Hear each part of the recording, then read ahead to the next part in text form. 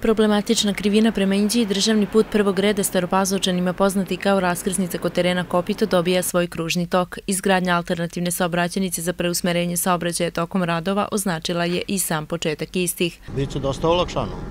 Tu je baš krivina i tu je opasno stanje. Pogotovo tamo Masariku odande se ne vidi, tu se vidi, jako je teško.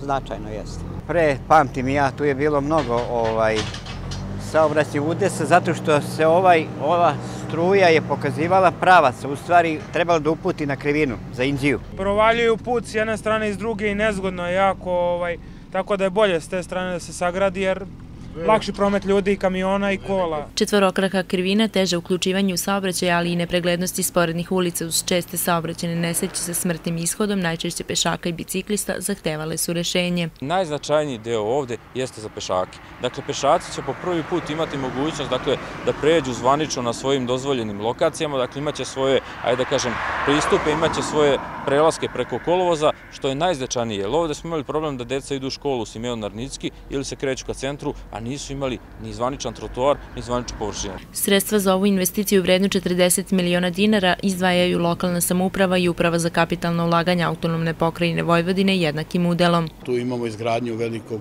kompleksa stambeni objekata za izbegle, za Rome i tako dalje, tako da smatramo da će to biti još veća frekvencija saobraćaja, ali će ova raskrsa to sigurno uspešno rešiti, jer to je pred svega najmoderniji i najsigurniji način na koji se obezbeđuju raskrsnice. Saobraćaj na ovoj lokaciji biće preusmeren na okolnu servisnu saobraćajnicu dok se postavljanje pripremnih radova i saobraćene signalizacije očekuje u narednih do nedelju dana, a sami radovi izgradnje kružnog toka trajaće 45 radnih dana.